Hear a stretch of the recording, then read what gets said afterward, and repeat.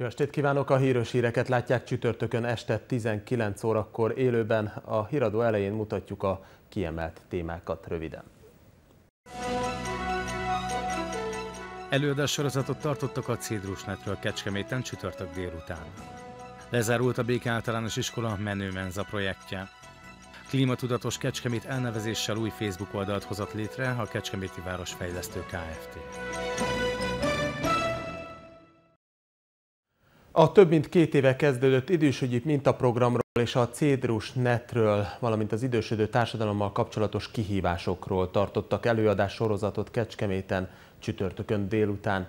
Előadóként Novák Katalin család és ifjúságügyekért felelős államtitkár is részt vett az eseményen. Aki már nyugdíjas, az gyorsan rájön arra, miután kipihente magát, hogy valamit kéne csinálni, meg emberek között lenni. Ezekkel a szavakkal mutatta be Sárközi Erika, a Kecskeméti Cédrusnet mintaprogram vezetője és megálmodója a nyugdíjasok egyik fő dilemmáját. A csütörtök délután megrendezett az idősödő társadalom kihívásai Cédrusnet Kecskemét modell elnevezésű előadás sorozaton napjaink demográfiai kihívásairól, az idősek problémáiról és egy országosan is mintaértékű programról is beszámoltak az előadók. Ahogyan az volt úri kaszinó dísztermében elhangzott Kecskeméten 1987-ben 17.966 nyugdíjas élt, Csonka Imre, a polgármesteri hivatal társadalompolitikai osztályának vezetője azt próbálta meg megtippeltetni közönségével, hogy mennyi nyugdíjas élt 2017-ben Kecskeméten.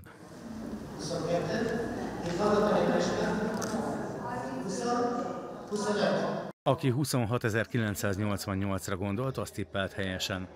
Ez 30 év alatt 50%-os növekedést jelent. Nem véletlen, hogy Szemerényné Pataki Klaudia polgármester köszöntőjében kiemelte, fontos, hogy az idősek is megkapják azokat az örömöket és a közös élményeket, amelyeket az aktív évek alatt megszokhattak. A fejlődő egészségügyi rendszer is sokban segíti az időseket. Megjelent egy új korosztály, mivel a nők 40 év után nyugdíjba mehetnek. Ezért fontos, hogy Kecskemét egy különleges, valós problémákra reagáló idősügyi koncepciót dolgozott ki. Az elmúlt évek, és főleg az elmúlt egy év egy nagyon intenzív gyakorlati munkával is telt, hiszen nem csak egy megalapozó kutatás készült el, hanem a megalapozó kutatás alapján egy cselekvési terv is, és a cselekvési tervet az elmúlt egy évben kipróbáltuk. A polgármester kiemelte különösen nagy érték, hogy azok, akik a projektet vezetik, és Sárközi Erika, aki a Cédrusnet programot kitalálta, mind a mai napig aktívan koordinálják is a civil kezdeményezéseket. Nem csak ötletet hoztak, hanem a megvalósításban is tevékenyek. A Cédrusnet mintaprogram önkéntes résztvevői olyan tudásra tehetnek szert, melyel családokat segítő szupernagyikkel vagy éppen idős látogatóvá válhatnak.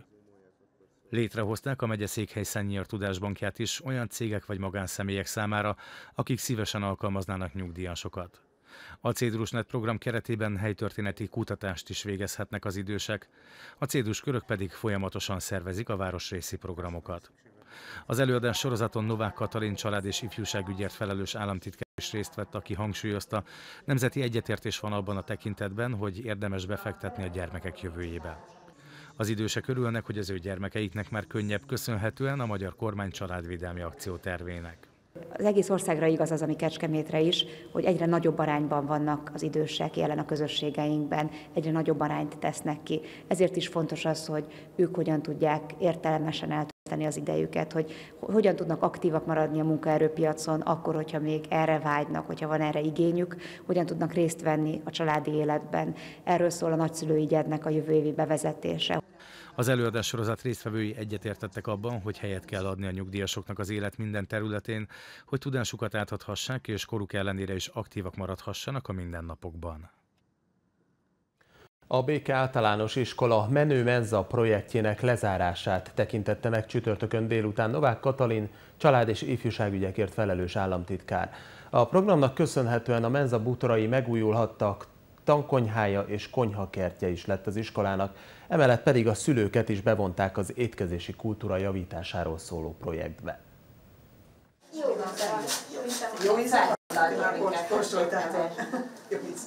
Saját készítésű finomságokkal kínálták a gyerekek a vendégeket a Béke általános iskola tankonyhájában. Az, hogy technika órákon elsajátíthatják a főzés tudományát, a Menő Menza projektnek köszönhető, amelynek célja, hogy javítsa a gyermekek étkezési kultúráját, étkezési körülményeit. A Béke általános iskola projektjének lezárását tekintette meg Kecskeméten Novák Katalin, család és ifjúságügyért felelős államtitkár csütörtök délután. Az államtitkárt Szemereiné Pataki Klaudia polgármester és az iskola igazgatója Schmidtné Báló Ágnes fogadta. Együtt nézték meg, mi minden valósult meg a pályázatból. Picit rakunk alá, hogy így ne legyen olyan. A Menő Menza programban készült el az iskola konyhakertje is, ahol a gyerekekkel közösen ültettek el fűszernövényeket a vendégek. A pályázat 2017. szeptemberében zárult le, az iskola pedig 20 millió forint támogatást nyert, hogy elérje a kitűzött célokat. Novák Katalin kiemelte, ritka az, hogy látja, milyen volt az iskola élete egy projekt előtt és után. A Béke iskolánál ez megvalósult, hiszen a menő menza indulásakor is ellátogatott az intézménybe. Novák Katalin hozzátette, hogy a program országosan 340 intézményt tudott támogatni, a Béke iskola pedig jó példa arra, hogy mit lehetett megvalósítani a programban. Szemereiné Pataki Klaudia elmondta, Kecskeméten hozzá tartozik a családok életéhez, hogy saját kertekben, hobbikon termesztik a zöldségeket, és hogy otthon főznek. A projekt ennek a hagyománynak a megőrzésében is segít, hiszen egyre kevesebbeknek van otthon ideje egy saját konyhakertre. A Béke általános iskola többek között a menzai bútorok felújítására, tankonyha, fűszer és konyhakert kialakítására használta fel az elnyert összeget. A projektben nem csak az iskola 300 diákja vett részt, a különböző előadásokon és tanácsadásokon a szülők is részt vehettek. Klíma Tudatos Kecskemét elnevezéssel új Facebook oldalt hozott létre a Kecskeméti Városfejlesztő Kft. A társaság célja, hogy egybegyűjtse a lokális környezet és klímavédelemért tenni akaró civil közönséget, valamint információkkal szolgáljon az érdeklődőknek saját klímavédelmi célú tevékenységéről és a városban zajló szemléletformáló rendezvényekről. A hét elején megrendezett ENSZ klímacsúcson a magyar államfő is felszólalt. Áder János azt mondta, hogy Magyarország 1990 óta 32%-kal csökkentette széndiokszid kibocsátását, úgy, hogy energiafogyasztásunk is csökkent, ugyanakkor gazdasági teljesítményünk jelentősen nőtt. Mit tett eddig és mit tehet a jövőben a közös klímacélokért Kecskemét? Ezek a kérdések álltak a Kecskeméti Városfejlesztő Kft. csütörtöki sajtótájékoztatójának középpontjában. Több ezer hektáros zöld felület, ami a város északnyugati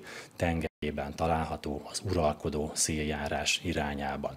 Nagyon-nagyon nagy hangsúlyt fordít a cégünk a meglévő zöldfületeknek a védelmére, fenntartására, a zöldfületeknek a növelésére. Az utóbbi célhoz elengedhetetlenül fontos a napjainkban igen szélsőséges eloszlásban érkező csapadék megtartása, mondta Kanalas Imre stratégiai és városfejlesztési csoportvezető. A társaság ezért kidolgozott egy városi csapadékmenedzsment programot. Emellett a közlekedésből származó kibocsátás mérséklésében és az okos parkolás menedzsment kialakításában is tevékeny szerepet vállal a Városfejlesztő Kft. A sajtótájékoztatón Kanalas Imre részletezte azt, hogy Kecskemét hogyan igyekszik önkéntes vállalásokkal tenni a klímavédelemért.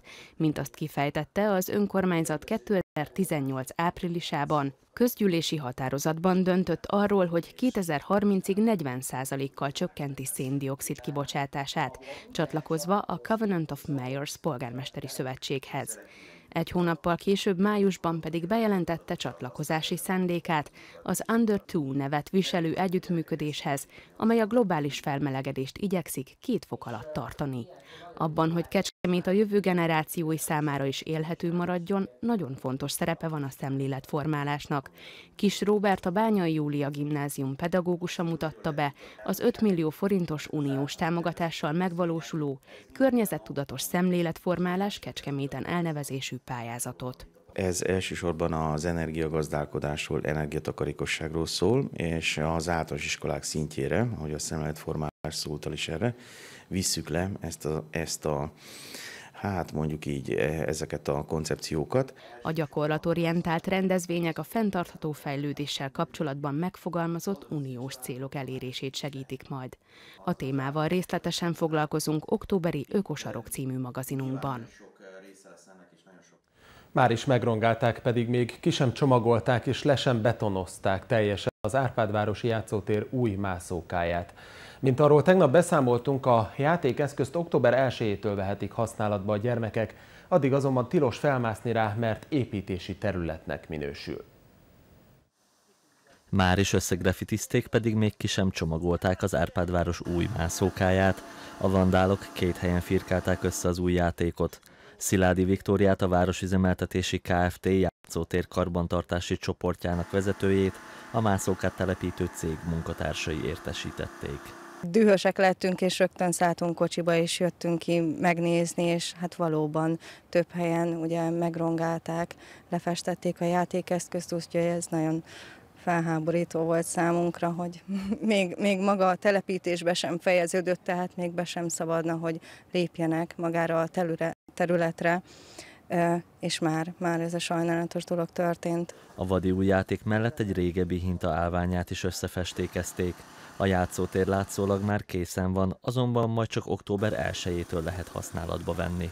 Mindenképpen, amíg körbe van kerítve, addig nem, nem vehető birtokba. Úgy gondoljuk, hogy úgy október 1 mert ugye betonozással történik a, az alapozása a játékeszköznek. A beton teljes megszáradásáig tehát nem használható a Bagi László utcai játszótér megújult mászókája, hiszen a tartószerkezetek kötési idejét a biztonságos használat érdekében ki kell várni. A letakarítással és telepítéssel egy időben a térfigyelő kamera segítségével próbálják előkeríteni a firkáló vandált. Még egy napig lehet leadni a használt üvegeket a DTKH Nonprofit Kft. és Kecskemét megyei jogú város önkormányzatának közös üveggyűjtő kampányában. Holnapig, azaz szeptember 27-ig még bárki bedobhatja használt üvegeit a DTKH Kft. gyűjtőedényeibe. Szeptember 17-én indították el az Életmentő Üveg című üveggyűjtő kampányt. A cél a környezetvédelem mellett az életmentés, az országosan egyedülálló kampány végén három defibrillátort fognak kihelyezni a város frekventált részein. Kecskeméten a 10 ideglenes gyűjtőponton 10-10 konténer várja a befőttes, bébiételes, szörpös, boros netán pesgős üvegeket, amiktől most végre meg lehet szabadulni. A DTKH munkatársai naponta kétszer ellenőrzik a gyűjtőhelyeket, és ha kell, el is szállítják az összegyűlt üvegeket. A kampányban ráadásul még nyerni is lehet, ehhez csak készíteni kell egy szelfit az üvegbedobás pillanatában, amit a DTKH weboldalára kell feltölteni.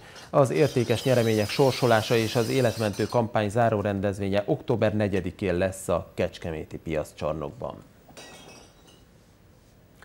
180 óra közérdekű munkára ítélték azt a kecskeméti férfit, aki engedély nélkül tartott adózatlan cigarettát és alkoholt saját és szomszédja ingatlanán. A kecskeméti járásbíróság ítélete jogerős ellene senki nem lebbezhet fel. 677 doboz cigarettát és 12,5 liter alkohol találtak 2019. január 15-én egy 38 éves kecskeméti férfi saját és szomszédja ingatlanán. Az engedély nélkül tartott dohánytermékeket a Bács-Kiskun megyei rendőrfőkapitányság és a NAV Bács-Kiskun megyei adó- és vámigazgatóságának járőrei közös akción találták meg. A pénzügyőrök egy ingatlan vizsgálata során egy melléképületben 325 doboz cseh adójegyes, 103 doboz adójegy nélküli, valamint 240 doboz ukrán adójegyes cigarettát találtak. Az ingatlan tulajdonosa közölte, hogy azokat a szomszédja az ügy 38 éves vádlottja adta neki, és nem tudott az eredetükről. Ezután a nyomozók az akciót a szomszédban a vádlott ingatlanán folytatták, ahol 25 darab ukrán zárjegyes, fél literes üvegben összesen 12,5 liter adózatlan szeszes italt és több doboz cigarettát találtak. A járőrök a cigarettát és a szeszes italt mindkét ingatlanon lefoglalták. A férfit a Kecskeméti járási ügyészség szeptember 25-én költségvetési csalás védsége miatt állította bíróság elé, mert a jövedéki termékek után Magyarországon az adót nem fizette meg. A vádlat így több mint 470 ezer forint kárt okozott a költségvetésnek. A Kecskeméti járásbíróság a büntetlen előéletű vádlottat szeptember 25-én jogerősen 180 óra közérdekű munkára ítélte. Gázszivárgott ma délelőtt 10 óra körül Kecskeméten a Halasi úti Tikó benzinkút közelében. Egy munkagép vágott át egy gázvezetéket, ez okozta a bajt. A katasztrófavédelem, a rendőrség és a gázszolgáltató munkatársai a helyszíre érkeztek. A munkálatok ideje alatt a Halasi úton korlátozottan haladt a forgalom. Egy tantermnyi szülő szeretett volna választ kapni. Tegnap délután egy előadás során dr. Nyirádi Tamás szülész nőgyógyásztól arra a kérdésre, hogy beadassa egy gyermekének a humán papilloma vírus elleni oltást, avagy nem. A ményakrák kialakulásáért is felelős HPV vírus elleni oltásról tartott szerda délután előadást dr. Nyirádi Tamás szülésznőgyógyász a Vásárhelyi Pál általános iskolában. A Nők a Nemzet Jövőért Egyesület és az Egészségfejlesztési Iroda közös rendezvényén. A megjelenteket az Egyesület nevében Kovácsné Bozó Kirita köszöntötte. Mint mondta, saját gyermekei is abban a korban vannak, amikor döntést kell hoznia arról, beadassa-e nekik a HPV elleni oltást vagy sem. Az alkalom társszervezőjének az EFIT kérték fel. Dr. Bagi Anett, az iroda vezetője, örömét fejezte ki, hogy nem csak édesanyák, hanem apukák is elfogadták a meghívást a rendezvényre. Dr. Nyirádi Tamás rögtön előadása elején határozottan kijelentette, szerinte az oltást be kell adatni. A következő fél órában aztán részletes tájékoztatást adott a vírus természetéről, a fertőzés lezajlásának lehetséges módjairól, majd legalább 10-15 a védőoltás esetleges mellékhatásait is érintő kérdésre is választ adott. A HPV okozta rákos megbetegedések ellen másfél évtizede létezik védőoltás. A ma forgalomban lévő oltóanyag 9 vírustörzset tartalmaz, és 80-90 százalékos védettséget ad. Az oltás 9 éves kortól adható be fiúknak és lányoknak egyaránt. Magyarországon iskolai kampányoltások során 12. életévüket betöltött 7. osztályos lányok kaphatják megtérítésmentesen.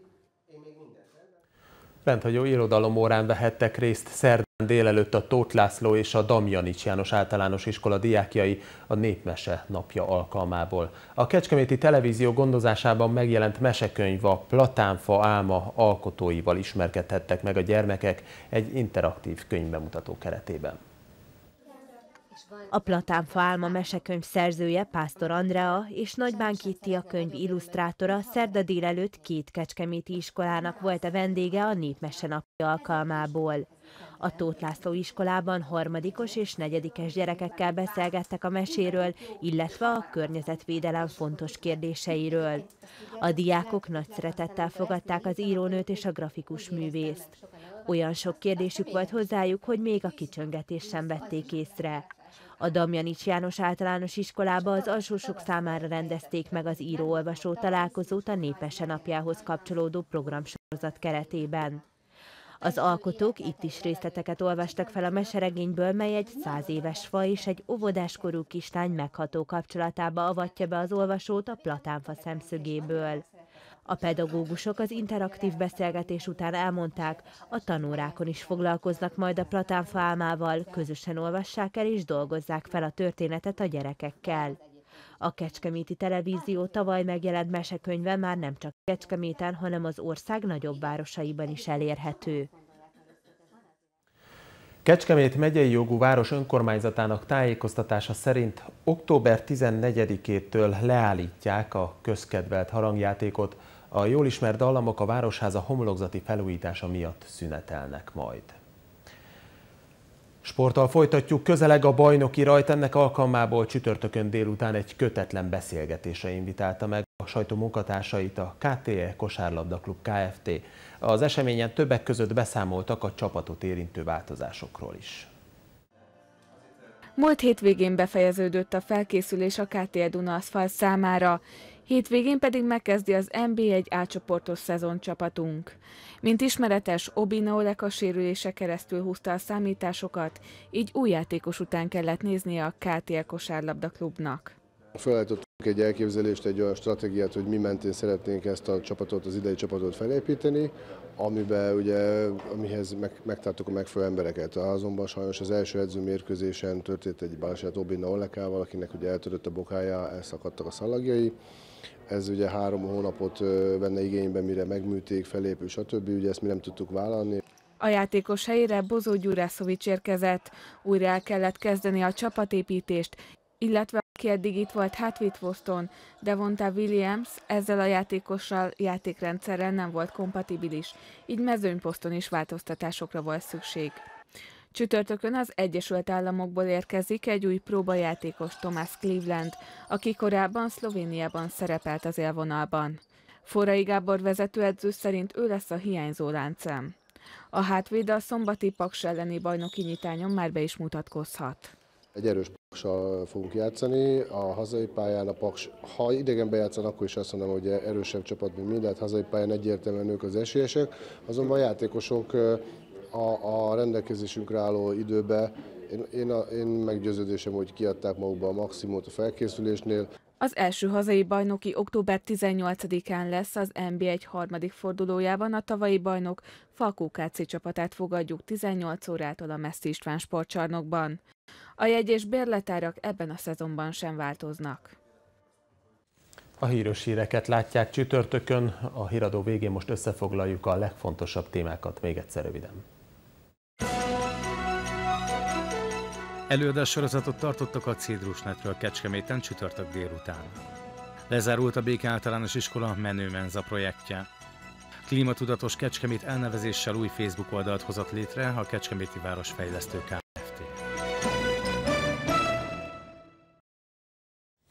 Ez volt a híres hírek a hírórában. A műsort most a kiemelővel folytatjuk, amelyben dr. Gross Andorral készült beszélgetést tekinthetnek meg elsőként, majd megmutatjuk, hogy milyen volt a Kressz Safari program a Vadaskertben, és a műsor második részében Rideg Lászlóval készült beszélgetést láthatnak. Ha lemaradtak a híreinkről, akkor azokat újra tudják olvasni a hírportálunkon, a cím híres.hu, vagy meg tudják nézni a híras híradó ismétlését 21 órakor és 22 óra 30 perckor éjszaka a képújság idejében két óránként, valamint reggel 7 és fél 9-kor, és minden műsor, így a híradó is bármikor újra nézhető a kecskeméti tv.hu weboldalon.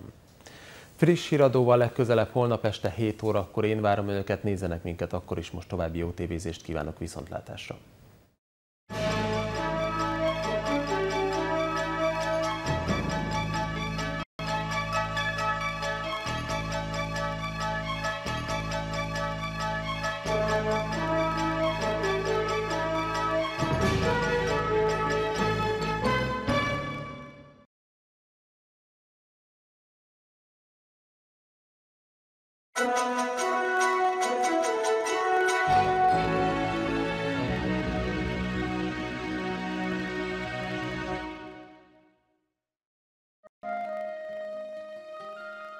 Pénteken felhős lesz az idő, néhol rövid ideig csepereghet az eső. Hajnalban párásság, kis területen köd is előfordul.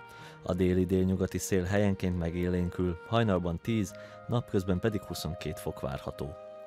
Szombaton felhős, esős idő várható, hosszabb, rövidebb időre napos időszakokkal, hajnalban kötfoltokkal.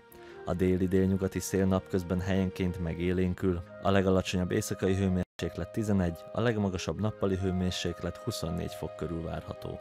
Vasárnap változóan felhős idő várható több órás napsütéssel, hajnalban kötfoltokkal.